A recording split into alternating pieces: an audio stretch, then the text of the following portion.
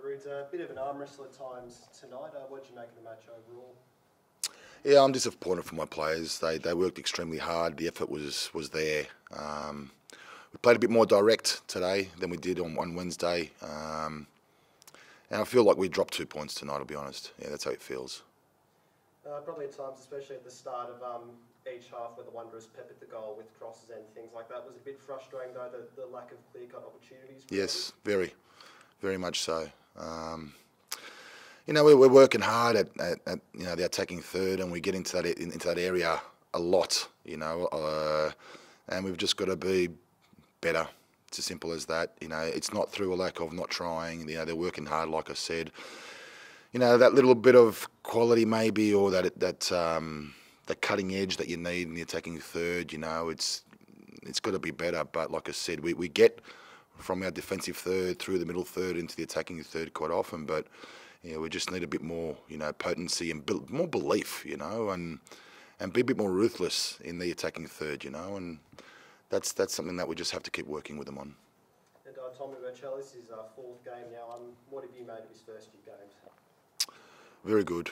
Yeah, he, he brings a calmness and and, and security and, and leadership and um, you know Kankar next to him is, is is learning a lot from him as well and he's becoming better as is Daniel Margush and so th th those three have been really solid and you know we've rotated fullbacks because of the workload particularly within our system of play.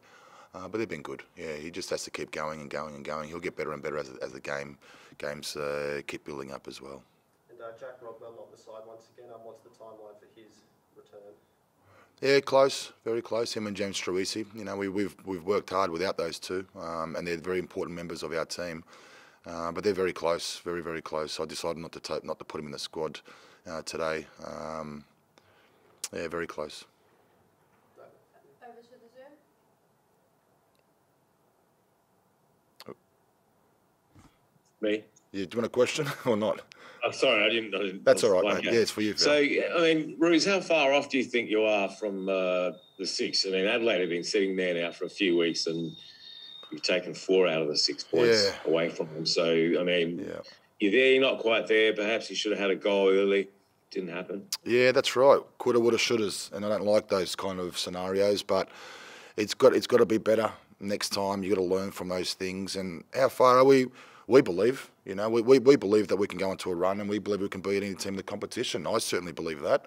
Um, you know, and, and it's such a league where you, this round in particular, I think every team that was below the opponent won, right, in this, this particular round. So it tells you just how, how tight it is.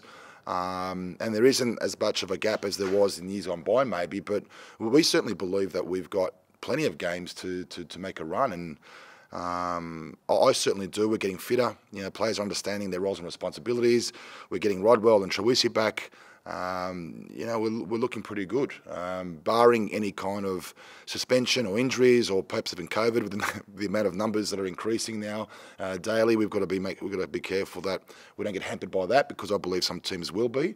Um, I think Adelaide were today with with Goodwin. I'm not. Uh, that's what we've heard. There's no. I'm not sure if that's for sure, but um, it's going to happen, right? So that's probably what we're disappointed about even more. You know, their best player was out. We're at home. We've beaten them away from home. And like I like I said, I felt we we dropped two points. Thanks, mate. Thanks, Val. All right. Thank you.